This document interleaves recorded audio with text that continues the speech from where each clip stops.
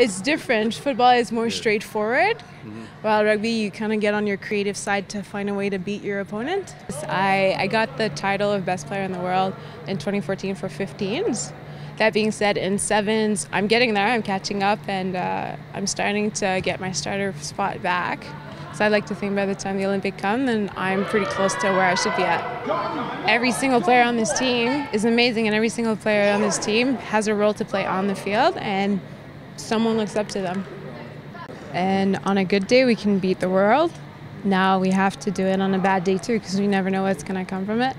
So I'd say that's exactly what we're going to do. We're going to focus on the process. And at this point in time, a rugby game is only 14 minutes. You got to show up every single minute of the game because one mistake and you can lose to the 12 team. So we got to be there the whole time, and every other team is important to respect.